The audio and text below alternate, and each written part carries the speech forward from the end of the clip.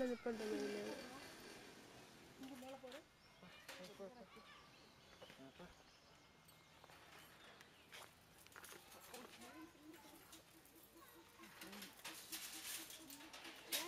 இன்னும் வரவே வேண்டாம் பூவெல்லாம்